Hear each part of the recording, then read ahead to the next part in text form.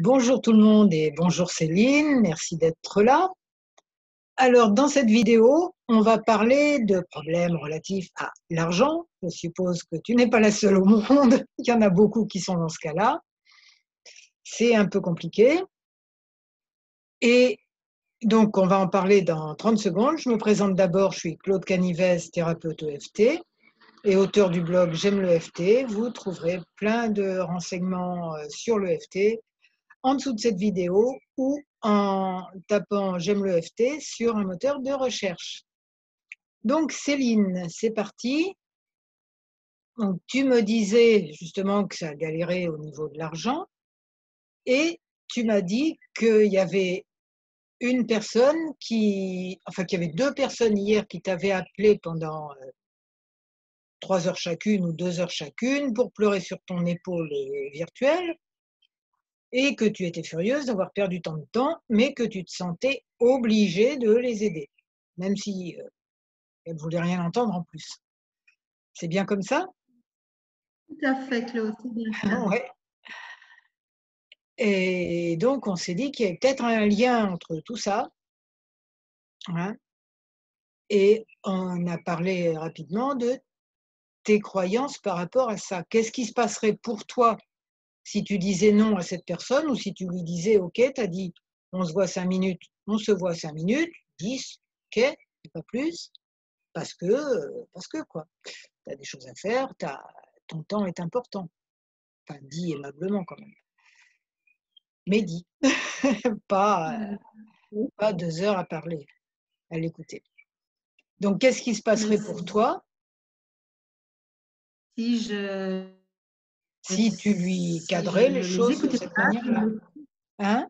Je culpabiliserais euh, parce que je n'irais pas apporter l'aide qu'elles attendent.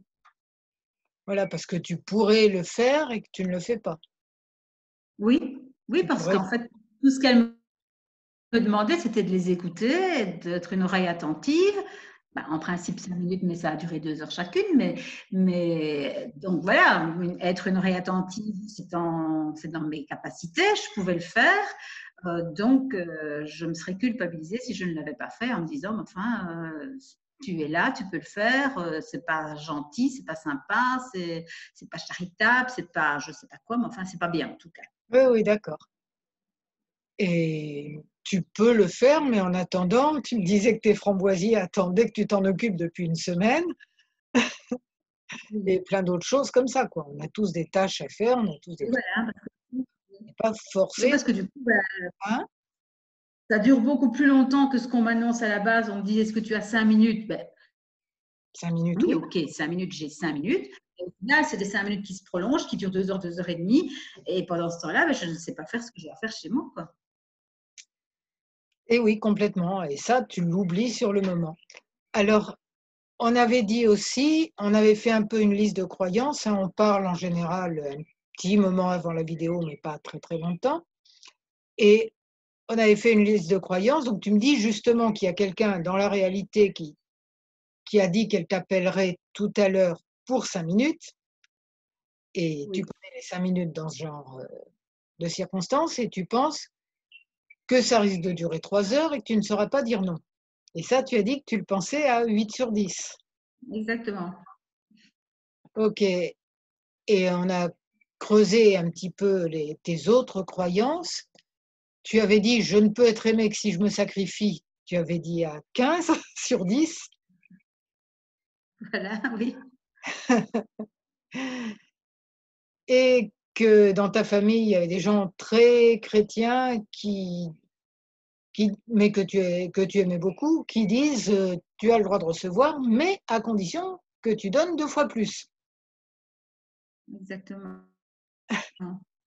Donc, j'ai été élevée avec une grand-mère très catholique qui pensait qu'il fallait d'abord penser aux autres avant de penser à soi. Et elle disait textuellement euh, que tu dois donner deux fois plus que tu ne reçois.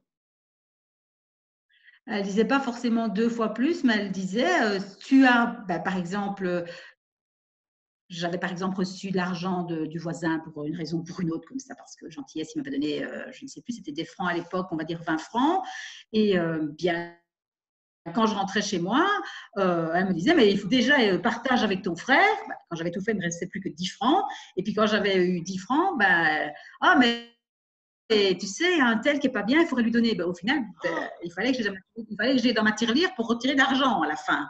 Donc, ben, j'avais eu au final 20 francs. Et puis à la fin, j'avais moins 5, oui, parce que j'avais aidé le voisin. Et au final, j'avais moins 5 francs dans ma tirelire parce que j'avais dû donner la moitié à mon frère qui n'avait rien fait et aussi à quelqu'un d'autre parce qu'il en avait besoin. Donc, ben, au final, j'avais travaillé pour le voisin et j'avais perdu mon argent.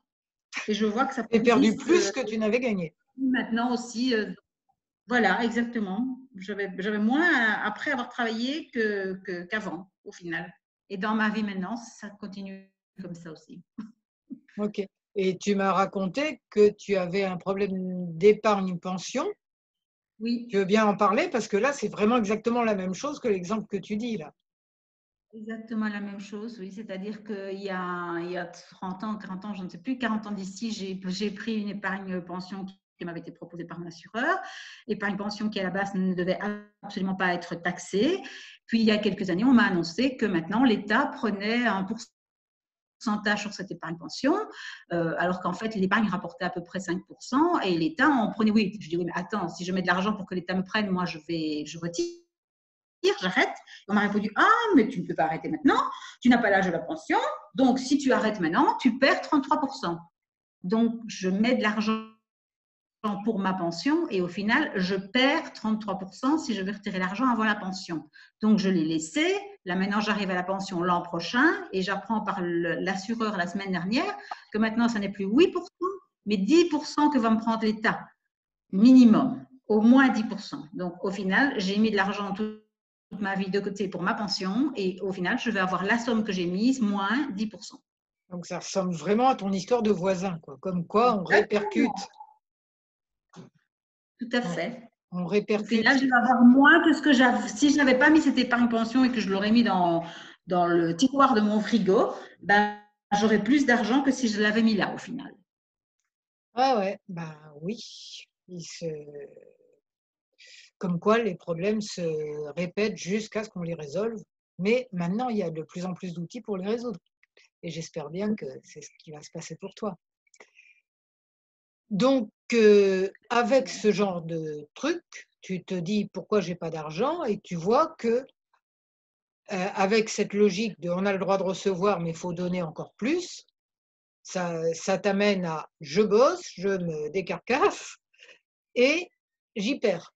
Donc, si j'ai pas d'argent, on m'embêtera pas. Il y a plein de situations où euh, ne pas avoir d'argent est protecteur paradoxalement. Oui. Dès qu'on dépasse euh, la dose de minimale pour vivre sans trop de. Enfin, vivre en galérant, mais vivre, hop, l'inconscient dit attention, si tu as plus, on va te le piquer, ça va être pire. C'est C'est tout à fait ça, oui. Et on t'a en plus fait passablement croire euh, quand tu étais petite que tu étais moins importante que tes frères et sœurs, que tes frères, parce que tu étais une fille. Voilà. Voilà, oui. Ouais. Donc, euh, l'idée de te révolter contre cette croyance, ce qui revient quand même à l'avoir, parce qu'on ne se révolte pas contre quelque chose qui n'existe pas, tu la mettais aussi à 10 sur 10. Donc, euh, j'espère qu'avec le FT, ça va diminuer tout ça. C'est fait pour ça. Ok, donc c'est parti. Les gens qui ne connaissent pas, ils font les mêmes gestes que moi, ils redisent les mêmes phrases que va dire Céline. Et puis, ils ont toutes les infos nécessaires en bas de la vidéo. Alors, je réfléchis encore une seconde. Même si j'ai apparemment des problèmes d'argent même si j'ai apparemment des problèmes d'argent.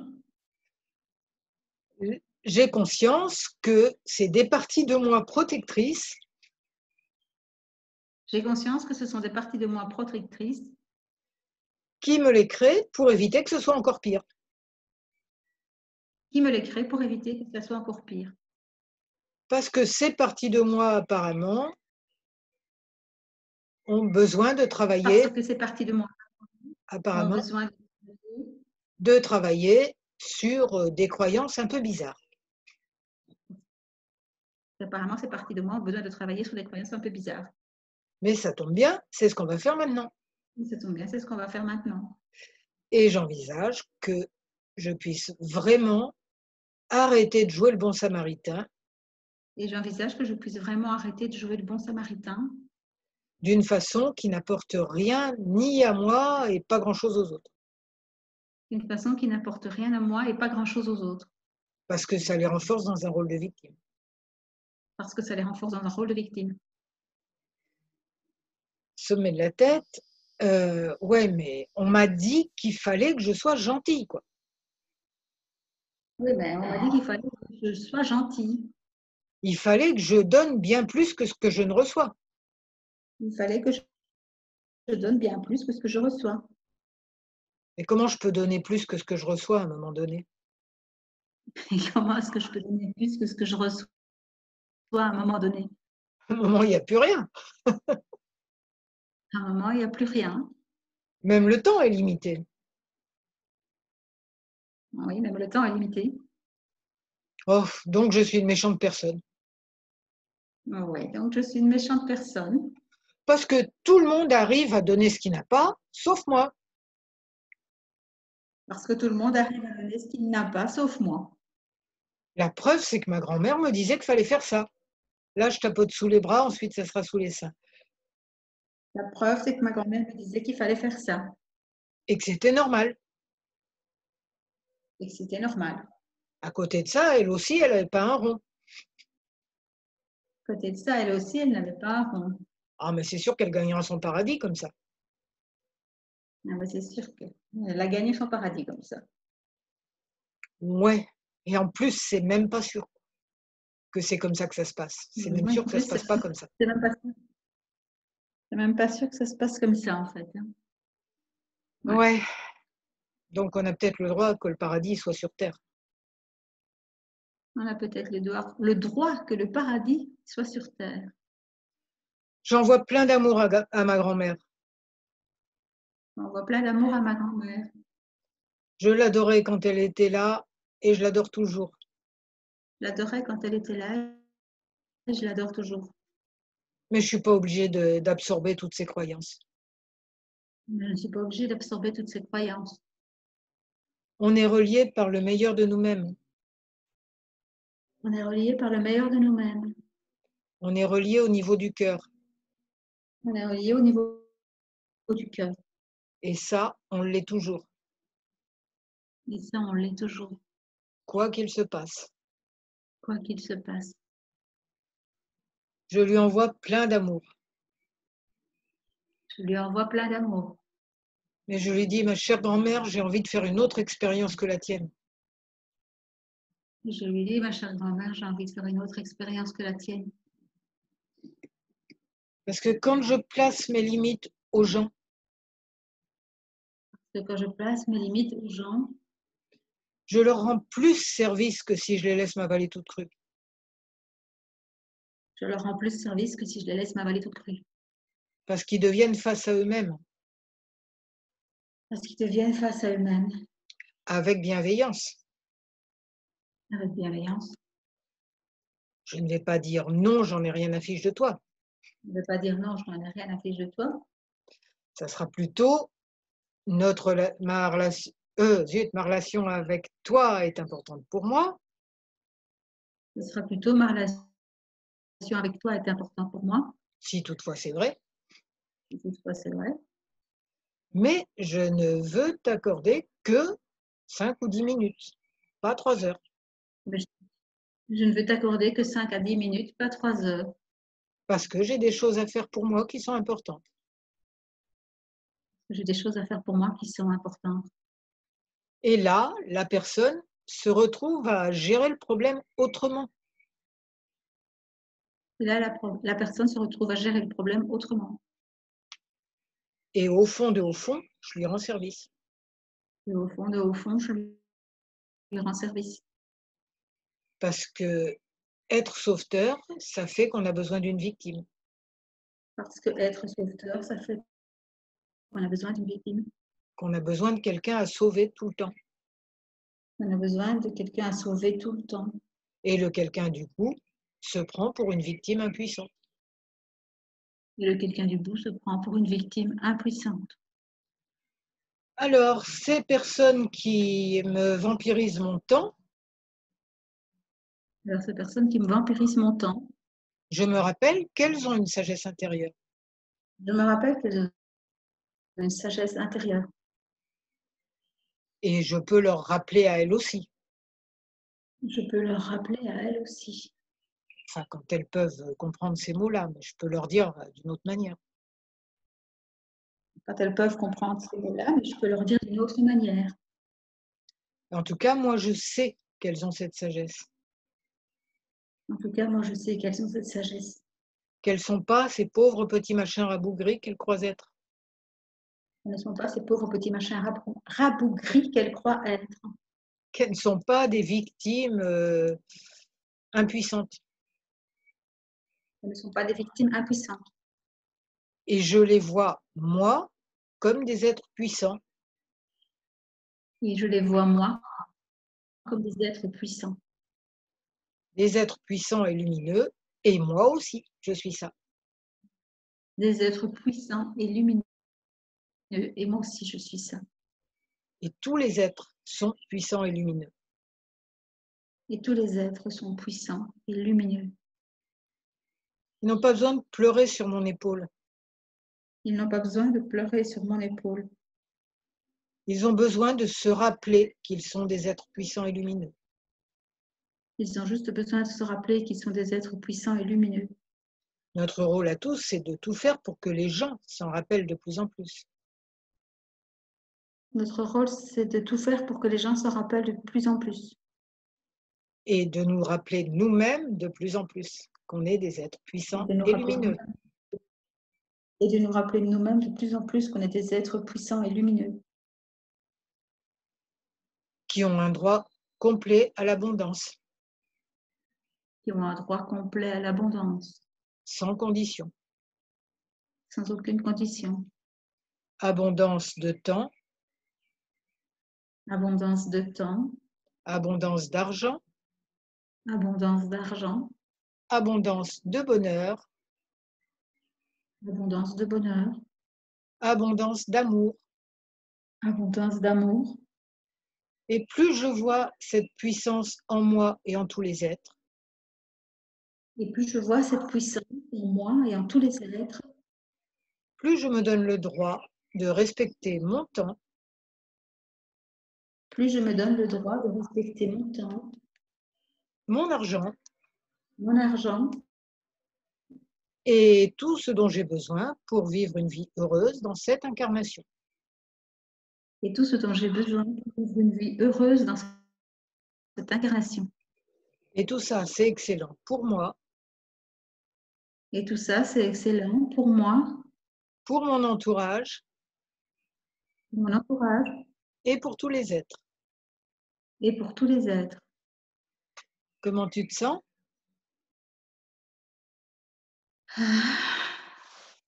Un peu soulagée, mais j'ai beaucoup d'émotions qui ont monté quand on a parlé de, de ma grand-mère et des croyances, de, de, mes croyances qui étaient comme les siennes.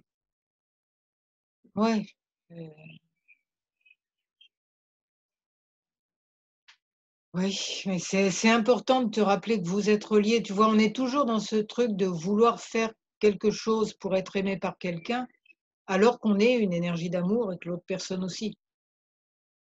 Que plus on se sent relié au niveau du cœur, plus euh, moins on se sent obligé d'être lié au niveau des programmations, des schémas, des trucs euh, tout moches. Oui.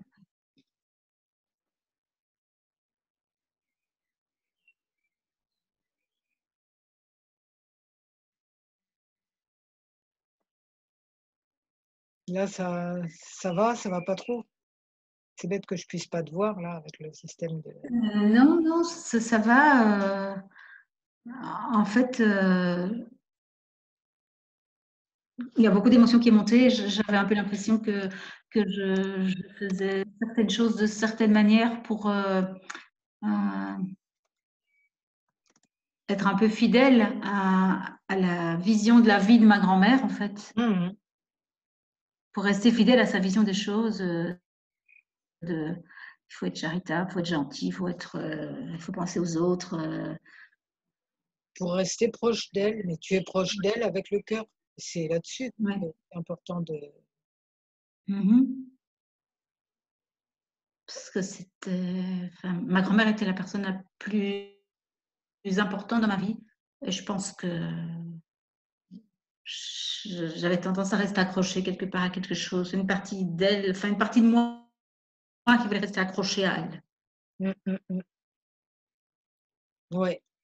Souvent, c'est on garde un truc qui nous, nous détruit. Hein. Ça peut être la cigarette, des fois, de, ou euh, telle ou telle addiction à quelque chose. Et pour rester proche de quelqu'un avec qui on partageait ça, ou être addict à des valeurs parce que ça nous donne l'impression d'être euh, proche de la personne qu'on aime.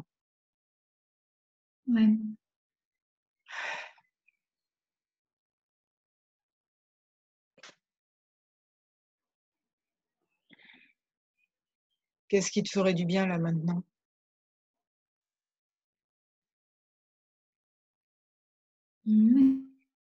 Ça va, je, me suis apaisée. En fait, j'ai vraiment senti vraiment beaucoup d'émotions qui montaient, mais, mais, en même temps, tout en tapotant, j'ai réalisé que ben oui, c'est vrai que je suis reliée avec elle d'une autre manière. Je n'ai pas besoin de ça pour être liée à elle.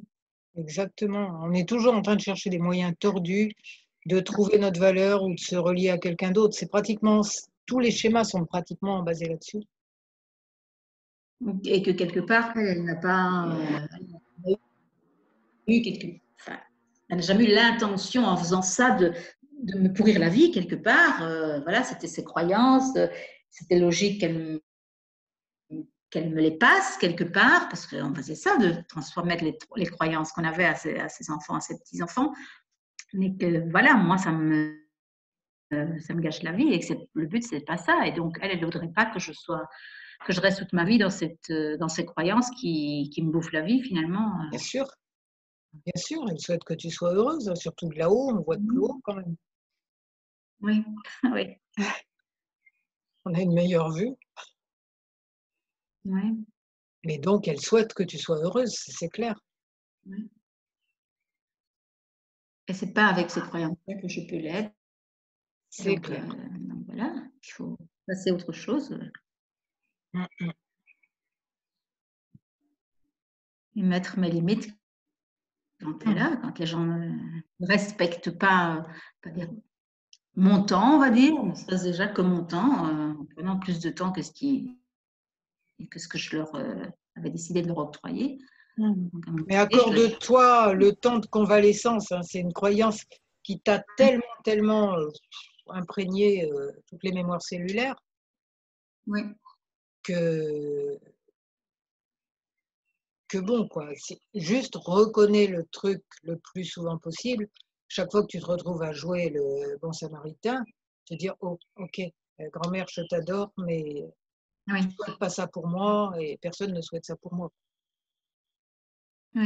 Et donc là, ben, tu t'autorises à dire, bon, ça passera de...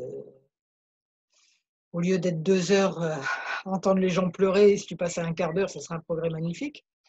Oui. Oui.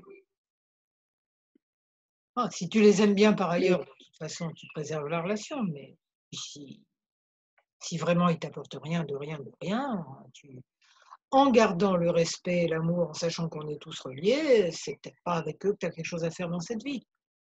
Oui. Tu vois? Ça dépend des gens, hein. c'est, c'est toi qui vois. Il y a des gens avec qui ça peut être OK, je t'aime bien, mais là, je ne peux pas, point barre, on se voit plus tard à un autre moment, on fait un truc sympa ensemble et tout. Ça peut être d'autres. Il y a des amis cinq minutes aussi, ou que tu vois vraiment très peu de temps parce que pour X raison tu veux maintenir la relation il y a d'autres, la vie vous sépare, c'est tout. Oui. Dans ce cas-là, c'est une libération pour eux aussi. Hein. Si on est en train chacun de, marcher dans un chemin qui ne nous plaît pas, rien que pour être à côté de l'autre, les deux sont mal. Oui, oui. Et puis, et puis en même temps, ça ne doit pas leur apporter grand-chose parce que euh, de, pleurer sur leur sort pendant deux heures, qu'est-ce que ça ne va pas changer leur vie Ils ne voient pas le positif, ils, pleurent sur le négatif et ils n'avancent ouais. pas ouais. ce temps-là. Donc, euh, c'est exactement ce qu'on a dit euh, dans l'EFT. Hein. Peut-être tu vas, si tu le refais, tu vas le redigérer. Oui, ça vaudrait vraiment le coup de le refaire. Hein, oui. Ok, est-ce que tu te sens, euh, tu as suffisamment digéré pour qu'on puisse faire euh, l'évaluation euh, qu'on a dit sur certains points? Oui, oui. Alors, on avait dit ton quelqu'un qui te rappelle dans cinq minutes. Ça, tu penses que ça va durer combien de temps? 20 minutes. 20 minutes, tu lui accordes 20 minutes. Oui. Tu me diras. beaucoup 20 minutes. Bah oui, oui. Mais ça, et puis essaye aussi de ne pas être sauveteur, d'aller dans le sens de OK, quelles sont tes solutions? Et si vraiment elle veut juste pleurer, ben là, tu vas t'occuper de tes framboisiers, quoi. Oui. Tu vois, tu lui dis que là, je ne t'apporte rien si tu ne veux pas envisager qu'il y ait des solutions. Tu peux lui faire de l'EFT à la limite, pourquoi pas? Propose-lui. Bah écoute, Je veux dire, appelle hein Claude. Je veux dire, appelle Claude. Ah bah ça, tu Elle serait meilleure aide pour toi que je. tu peux aussi. Donc, euh, tu lui accordes 20 minutes, tu me racontes si, si tu as, tenu le, as tenu ça? Oui.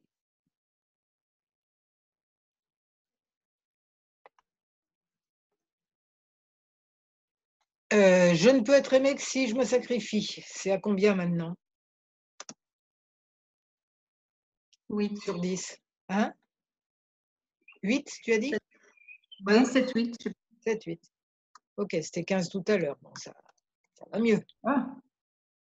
Oui, ça a diminué de moitié. Ouais. On a le droit de recevoir, mais à condition qu'on donne deux fois plus, ou beaucoup plus. Ah non, moins 5. 5 seulement? Ouais, bah faut encore que ça diminue. Hein. Tu étais super imprégné de ça quand même. Mmh